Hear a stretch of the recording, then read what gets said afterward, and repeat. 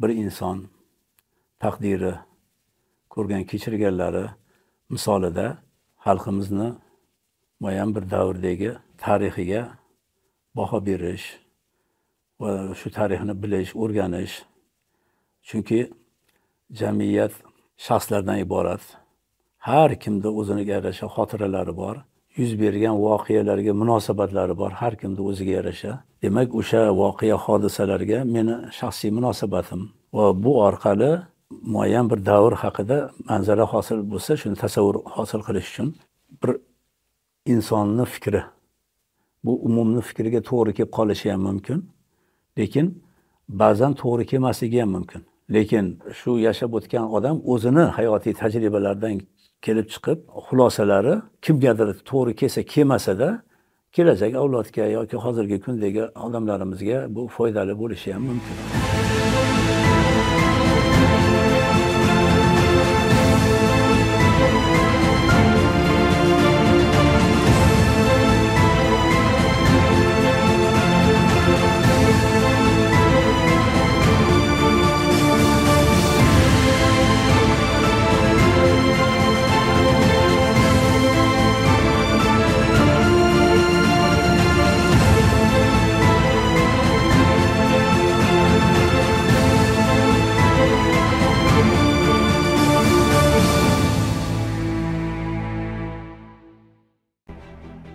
Omonatdir deydilar. Omonat mas'uliyat demak. Oqni oq qorani qora deya o'tmish voqealarni asl holida bayon etish demak. Milliy o'tmishimizni soxta tarixlardan tozalash haqiqatni qaror toptirish demakdir. Afsuski umuman turkiston xususan o'zbekistonning amir temurdan keyingi davr tarixi hanuz ro'y rost va tartibli ravishda o'rganilmadi. Hatto eng yangi tariximiz ham davr siyosatining ohangiga moslashtirilgan. Bularni ham qo'ya turing mustaqillikning birinchi yarmini ham xolis siyosiy baholay olmadik hali. Ushbu yangi loyihada el suygan adib nurulloh muhammad raufxon nuqtai nazaridan turib ana shu kemtikni biroz to'ldirishga urindik bunda siz adibning bu kunlar asari asosida hali ham ichagi kunlarga aylana olmayotgan bu kunlar haqida o'tli mulohazalari hozirda ayniqsa o'rni bilinayotgan milliy mafkura haqidagi teran mushohadalar bilan tanishasiz. Bu yerda bildirilayotgan fikrlar asr shohidining asl mulohazalaridir. Bugungi kunimizga yaroqli bir mafkura haqida gaplashish uchun biz kechagi kunimizni bilishimiz kerak. Kechagi kunimizga baho berishimiz kerak. O'tmishimiz yaqin o'tmishimiz qanday bo'ldi? Qanday kunlardan o'tib keldik bu yoqqa? Buni bilishimiz kerak. Turkistonimiz o'zbekistonimiz xalqimiz va xalqlarimiz turkiston xalqlari ko'rgan ko'rgiliklar bugungi holatimizga olib keldi. Bugungi holatimizga. Endi bu holatdan chiqish uchun nima qilish kerak bo'lsa biz albatta tariximizni oldingi tariximizni va o'rtadagi tariximizni albatta bilishimiz kerak. Oldingi tariximiz albatta xonliklar zamoni amirliklar zamoni undan ham oldin undan ham oldin. Lekin bizni bugungi holatimizga olib kelgan davr esa bizni mustamlaka bo'lgan paytimiz. Chor rusiyasini biz tomonga turkiston tomonga siljib siljib siljib siljib keyin bir ming sakkiz yuz ellik to'qqizinchi yili qo'qon xonligini rusiya tomonidagi chegarasini eng katta qal'asi ohmachit qal'asi ohmachit shahar ya'ni askarlar turgan boshqa qilgan xuddi chegara deylik. Chegara undan ham oldin shaharlar bo'lgan qal'alar bo'lgan kichikroq bo'lgan. Uni ellik to'qqizinchi yilgacha olgan o'rislar sekin sekin kelib. ellik to'qqizinchi yili esa ohmachit uchun o'rislar harakat qildi va oldi. Bu degani turkistonga qarab bosqinchilik yurishlari boshlandi va ohmachitni ular egallashi eng katta yutqizishimiz bizni oq yutqizganimiz. yutqizganimizdan boshlab o'zimizdan bo'lmagan dini ham tili ham boshqa bo'lgan bir xalqni boshimizga kela boshlashi bu asrlar davomida o'ziga xos yo'l bilan kelayotgan bir ta'lim tarbiya jihatidan ham e, urf odatlar jihatidan ham din jihatidan ham hamma tomondan o'zigagina xos bo'lgan bir yo'l bilan kelayotgan E, xalqlar millatlar ya'ni mahalliy xalqlarimiz o'zidan bo'lmagan dini boshqa tili boshqa ruhi boshqa urf odatlari boshqa va niyatlari boshqa bo'lgan davlatga qaram bo'lib qoldik. Mana bu qaramlik esa xalqimizni e, tarixida juda katta hodisa hisoblanadi. Undan oldingi davrni o'chirish deyiladi bu keyingi davrni boshlang'ich nuqtasi deyiladi. Ya'ni mustamlakachilik shunaqangi o'zi. Undan oldingi davrni inkor qiladi ular. Va o'ziga moslab tarbiya qiladi boshqa qiladi. Va bu agar biz to'qson birinchi yilni mustaqil bo'lgan yilimiz deydigan bo'lsak bir yuz o'ttiz besh yil bir yuz qirq yil davom etdi. Boshqa xalqni qo'lida qoldik. Mustaqil davlatchiligimiz yo'qoldi. O'zini o'zi idora qilish yo'qoldi. O'zini hayoti bilan hayot kechirish yo'qoldi. Begonalarni qosh qovog'iga qarab hayot kechirishga majbur bo'lgan millat oldingi holatidan ko'ra ancha o'zgardi tabiiy.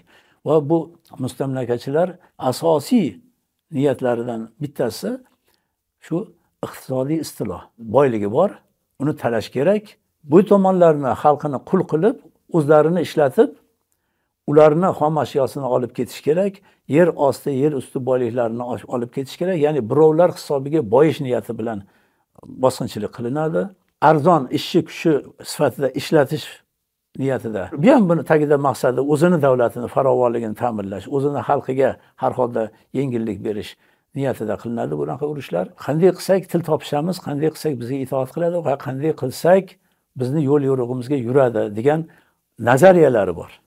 Mustamlakachilik nazariyalari ya'ni mustamlakachilik nazariyalarini ishlab chiqish jihatidan bugun biz angliya deydigan buyuk britaniya e, juda ilg'or. Umuman g'arb davlatlari ilm fani ham kuchayib taraqqiyotda ham kuchayib moddiy tomondan ham kuchayib qurol yarog'i kuchayib qaddini ko'tarib olgandan keyin sharq mamlakatlariga yurishni boshlagan. Birdaniga qurol ko'tarib kelmagan yuz yillar oldin bu sharqni o'rgana boshlagan. Mana sharqshunoslik degan atama o'shandan chiqqan. Buyuk britaniyada yilini bilmayman lekin bir uch yuz yil davomida mustamlakachilik vazirligi bo'lgan. Davlatni tizimida butun boshli bir vazirlik bo'lgan. Bu o'sha qaysi davlatga qaysi mamlakatga bosil bormoqchi bo'lsa o'shalarda institutlar ochgan masalan mustashriqlar deymizu sharqshunoslik institutlarini ochgan boshqa qilgan ya'ni bosqinchiligiga tayyorgarlikni juda uzoqdan boshlagan. Millatni ojiz tomonlarini bilish kerak hududini bilish kerak jo'grafiyasini bilish kerak tarixini bilish kerak. Siz bilan men bilan muomala qilish uchun e, tilini bilish kerak o'ziga xos xususiyatlarini bilish kerak. Mana dinimiz biz musulmonmiz. Ular nasroniy a musulmonlar o'zi dinidan e, shakllangan axloqi bor odobi bor ularni bilish kerak va qanday muomala qilish kerak? O'ldirish oson kuchli bo'lsa. Hammani o'ldirmaydi mustamlakachilar ham o'zini qul qilib o'zini joyida ishlatib manfaat olish kerak. Ularni niyati shu. Shunday bo'lgandan keyin ular yashash kerak ular bilan muomala qilish kerak. Faqat huquq bermaslik kerak. Ya'ni boshqa ellarni boshqa yurtlarni boylik maqsadida e, ochko'zlik bilan talon taroj qilish maqsadida yurish boshlash uchun bu xalqlar juda chuqur o'rganilgan. Jumladan rossiya imperiyasi ham pyotr bir zamonidan boshlab xususiyatini qarang. Rossiyani o'zini sharqdan ozod qilib yuzini g'arbga qaratmoqchi yana ovrupalashtirmoqchi rossiya osiyo mamlakati hisoblanar edi va rossiyada bundan oldin pyotrdan oldin ivan grozniylardan oldin chingiziylar qo'lida bo'ldi. Uzoq vaqt undan keyin musulmonlashgan oltin o'rda qo'lida bo'ldi. Uch yuz yil turkiylar qo'lida bo'ldi. Shuni ta'sirida ularga ko'proq musulmonlarni turk xalqlarini ta'siri bo'ldi. A pyotr esa bundan qutulmoqchi bo'ldi. Ular ham shakllangan bir sharq odami edi ruslar. Lekin undan qutulmoqchi bo'ldida yuzini g'arbga burdi. Mujik deymiz dehqonlarini qishloqdagi yashagan hammasida soqol bor edi. Hamma ayollari ro'molli edi nasroniy odati bo'yicha. Soqol mo'ylovlarini qirdirdi ya'ni ovrupalashtirishda shaklan ham ovrupalash agar boshiga bir narsalar o'ragan bo'lsa oldirib tashlab ularni kepkalarini kiydirishgacha bordi. Xullas rossiyani yevropa mamlakatiga aylantirish pyotr zamonidagi rossiya kichkina edi albatta hozirgidan ancha kichkina edi. Lekin o'shani yevropa mamlakatiga aylantirish markaz e, sankt peterburg peterburg shahri italiya fransiya olmon bulardan me'morlar chaqirib bu shahrini me'morliklari italyan me'morligi uslubida.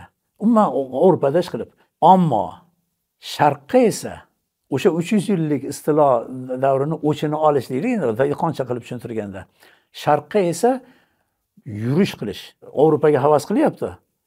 Yuzini yevropaga burdi. Ammo sharqni egallash hisobiga boyish sharqni kuchsizligini ular o'rgandi. Uzoq yillar davomida harbiy yuz burdi. Buni rejasida istanbulda ham olishadi. Konstantinopolda qo'lga kiritamiz deyardi. Chunki e, bu pravoslav dinini markazi bu yer edi istanbulda edi. Bosh cherkovi sinodi yig'ini bu yerda edi. Bu yerda chiqqan qarorlar tarqalar edi e, butun pravoslav o'lkalariga. Shuning uchun u bizniki bo'lishi kerak degan g'oya qildi. Va keyin o'rta osiyo tomon va o'rta osiyoni egallagan hindiston. Bu angliya bilan endi raqobat bor. Bafurjaroq gapirayotganimni sababi bizni xalqimiz nimaga ularni nazariga tushdiyu nimaga bizni egallab oldi va bizdan nima istadi? Bularni bilishimiz kerak va keyin bizni ne ko'ylarga soldiga kelamiz. Kuchli davlatlar tajovuzkorlik xususiyati bo'ladi. Agar ularda iymon bo'lmasa agar ularni olloh o'zini qonuniyati bilan cheklab chegaralab turmasa ularda shaxsiy ochko'zlik u milliy mentalitetga aylanib ketadi. Masalan ko'nib qanoat qilib topganiga ko'nmasdan qo'shnisi jinday bo'yi bo'lsa unisini tortib olib yashash osonroq ko'rinadi ularga. Dinimiz birovni mol mulkiga hasad qilmaslikka tarbiyalanganmiz mana shu yo'l yo'riq bu ollohni yo'l yo'rig'i birovni mol mulkiga hasad qilmaslik. Hasad degan so'zdan biz qo'rqamiz. Hasad qilmaslik degani men boriga qanoat qilaman meni rizqim bu deyman va harakat qilaveraman. Kimgadir ko'proq bergan bo'lsa u ham harakat qilganidan aqliy jismoniy harakat qilganidan topgandir.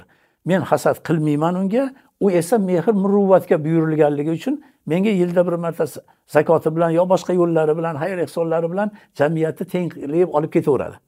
Ya'ni bu bizni diniy tarbiyamiz. Xuddi shunday tarbiyadan izdan chiqqan bo'lganligi uchun ularda tajovuzkorlik ruhi bo'ladi. Ochko'zlik xususiyati birinchi oldga chiqadi. Sabab o'sha ochko'zligi. Sabab o'zini qiyinchiligini boshqadan ko'rish o'zini yetishmovchiligini boshqani hisobidan to'ldirish.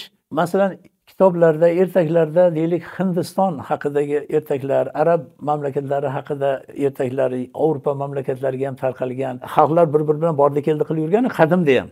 Islomgacha ham undan oldin ham keyin ham bordi keldi bo'lgan savdo sotiq bo'lgan u ham bo'lgan. Biz borsak borib ko'rganimizni kelib aytib berganimizdek ular kelsa qaytib borganda aytadi shunaqalar bilan shakllanadi bu mamlakatlar haqidagi tasavvurlar. Hindistonda oyoqni tagida tillalar yotibdi degan tasavvur bor edi yevropada tilla. A tilla ovrupada qadrlanar edi. Bizda non olsa ham tilla bilan muomala qilinardi hozirgi til bilan aytganda pul haqiqiy qiymati bilan muomala qilinar edi. U jezlar metallar keyin chiqdi. Tilla bilan bir tilla ikki tilla yoki uni misqollari boshqasi bilan muomala qilinardi o'sha zamonlarda. Ya'ni haqiqiy qiymati bilan. U zamonda shunday bo'lgandan keyin ularni ko'ziga boy va buni qadrini bilmaydigan bir qoloq o'lka bo'lib tuyuldi. Va bular bilasizmi qancha tayyorlandi bu oldin birinchidan u mamlakat qayerda ekan? Onda sonda kelib qolgan sayyohlardan eshittirgan gaplar bular. Ko'lim bir guruh suzib boshqa qilib kema yasattirib o'sha hindistonni izlab topish uchun yo'lga chiqishdi. Nafs chiqardi uni. Mana bu taraqqiyotga ham nafs ergashtirdi nafs yetishtirdi. Bu sayohati davomida o'zlari kutmagan bir qit'aga kelib qoldi. Masalan birinchi ko'rgan joylarini qo'ngan qirg'og'ini vest indiya deb nom qo'yganini o'zidan bilavering bular indiya deb chiquvdi hindiston deb chiquvdi lekin amerika qit'asini kashf qildi go'yo kolumb demak sabab ochko'zligi endi lekin bun bu narsaga jur'at ularda jur'at paydo bo'lishi bizni qoloqligimiz bizni orqada ekanligimiz. Ya'ni sabab ochko'zlik bo'lib qarab turaverish mumkin ammo bizga bostirib kelishga jur'ati yetmas edi masalan amir temur zamonida. Amir temur zamonida bizni ustimizga bostirib kelib qolmasin deb qo'rquv bor edi ularda qaytaga? Ya'ni biz jur'atli bo'lgan paytlarimiz biz kuchli bo'lgan paytlarimiz biz taraqqiy etgan bo'lgan paytlarimizda ilm fan ham boshqalar ham ularda xavf bor edi. Va bizni adabiyotlarimizni bizni tarixlarimizni bizni kutubxonalarimizdagi kitoblarni o'qish evaziga keyin yevropa uyg'onishi bo'lganki bu endi tan olingan. Yevropa olimlarini o'zi tan olgan narsa shuki andalusiyani kutubxonasidagi kitoblarni yuz yil davomida yevropa o'rgandi va buni natijasi keyingi yuz yillikdan yevropa uyg'onishi bo'ldi deb ularni tan olgan gapini aytyapman. Ya'ni qoloqligimiz bizni ularni bizni tomonga yurishiga jur'at hosil qildi. Bunday ko'rdi haligi aytganimizdek uzoq yillar o'rgandi qaradi va endi bemalol yursa bo'ladi. Osongina egallaymiz degan paytda keladi. Va aldash yo'llarini ham bildi bizni zaif tomonlarimizni bildi. Yo'llarimizni bildi qayerdan qanaqa daryolar o'tadi qayerda ko'prigi bor. Masalan qo'qon deylik birinchi chunki qo'qon xonligi hududidan kirib keldida. Buxoro xivadan ko'ra o'sha hozirgi qozog'istonni yuqori qismlarigacha qo'qon xonligiga qarar edi. Bu yog'i bishkek eh, olmati oqmo'la hozirgi ostona degan joylar. Va undan keyin haligi oq masjid bu tomonga kelish uchun pyotrni vasiyati ularni esida turibdi. Yurish kerak bu yoqqa. Hindistongacha borish kerak albatta. U yoqda u yoqda angliya e, raqobat ruslar bilan. Ruslar keyingi rivojlangan imperiya.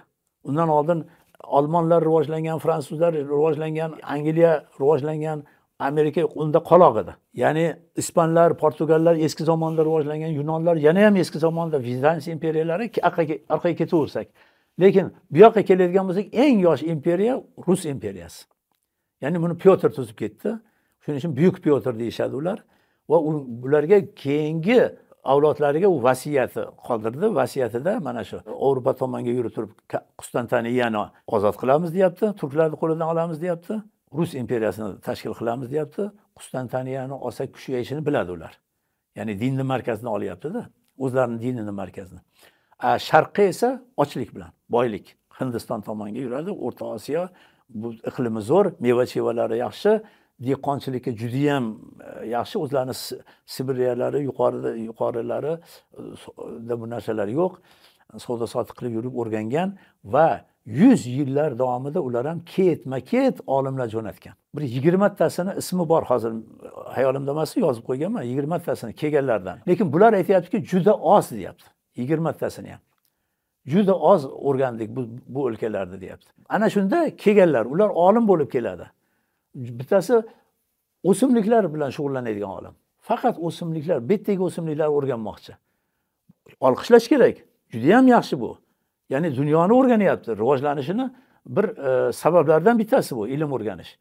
Bittasi jo'rofiy joylashuv shaharlari aholi sonlari e, daryolari ko'priklari daryolarni eni bo'yi chuqurligigacha o'rgangan. Bizniki yuribdi otni ustida.